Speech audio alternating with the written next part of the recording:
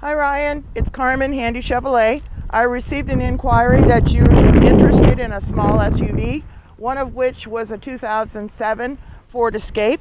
The vehicle's here. It's relatively low mileage. Um, it's an XLT version. Power driver seat, power windows, cruise control, CD player, comfortable five passenger,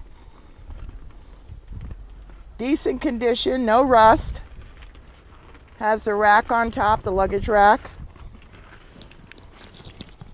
Okay, does have a class 2 hitch on it.